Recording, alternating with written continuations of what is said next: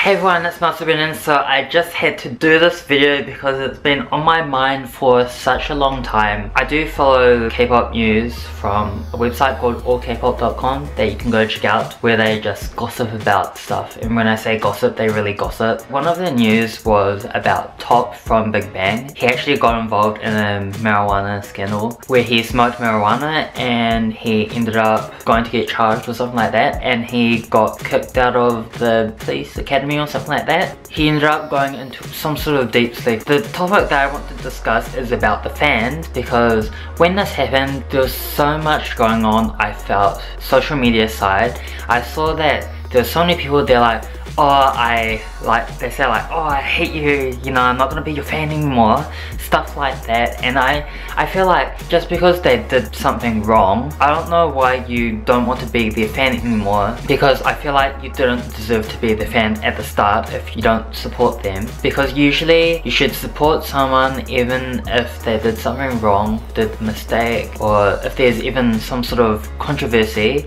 in the Korean side because controversy sometimes. Korean scandals aren't really scandalous compared to Western scandals. Even though I don't smoke myself, but I feel like it's sort of their choice if he wants to smoke. With the Korean government, it's a bit different, of course, so they treat things a bit differently. But I feel like even though he did smoke, his fans should actually support him because I don't believe that they were his actual fans if they don't support him through a time like this. And there was actually some sort of similar controversial news. I forgot his name because I actually didn't put this down in my notes. Moonhee, he's the guy who married the person from Crayon Pop. They actually recently got married, which was sort of scandalous. Another thing was they actually had a baby recently and people got annoyed because they didn't tell their fans that they were having a baby. It's shocking news, but also I feel like if you're a fan of them, you shouldn't not be a fan of them anymore just because they they went and didn't tell you that they had a baby or that they got married. It's, it's so weird. Seriously, these netizen people, you should be their fan still. You should be happy that they're having a baby and that they're getting married. I don't believe that you're gonna go and marry them. You should be happy they're moving on with their lives. And the next person was Sungmin from Super Junior. Fans wanted to kick him out after he went and got married. Apparently he like neglected the group or something, but I feel like he would have been busy with his life having getting married and stuff like that. So once again netizens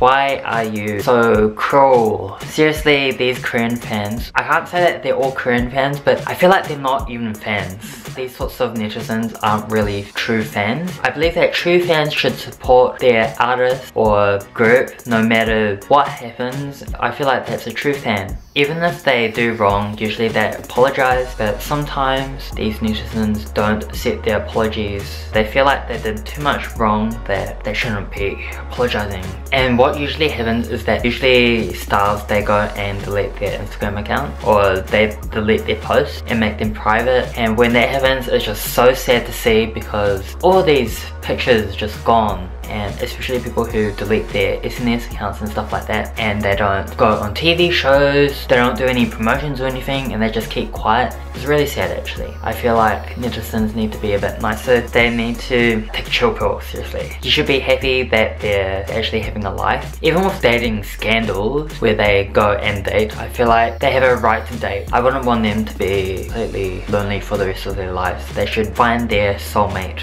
I truly believe that. Whenever I hear some sort of dating scandal, I just, uh, it, it's just so sad, dating scandals, because once someone dates, usually their fans get like really, really angry and they're like, oh, I'm not gonna be a fan of you anymore just because you're dating someone. Seriously, go and get a life, people. Go and get a life that's just sort of this video was really just a rant video about these sorts of K-pop topics. It wasn't actually a very good rant but I just wanted to express my feelings. Yeah that's it on this video. Don't forget to check out MBXD and also Yesh where I film videos on those channels as well. If you like these sorts of videos then you can go and let me know in the comments below otherwise I probably won't do them anymore because I am so bad at doing rant videos. I'll see you guys next time in my next video. Yeah bye.